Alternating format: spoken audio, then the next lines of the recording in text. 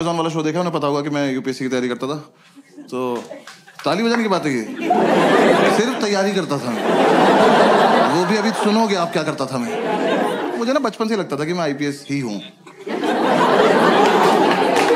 मुझे लगता था बस ग्रेजुएशन करूँगा, मुझे हाथ में वर्दी पकड़ा देगा, जाओ ड्यूटी पे जाओ। हाँ आए नहीं वो लोग। तो हम पाँचों घर में पड़े रहते थे तो मैंने एक दिन ऐसे बोला, पंडित को मैंने कहा, पंडित, तुझे याद है मैं कॉलेज में आईपीएस बनना चाहता था? कह रहा हाँ हाँ हम बहुत प्राउड फील करते थे. क्यों? कह रहा, भाई, हम में से तो कोई चाहता भी नहीं था ना.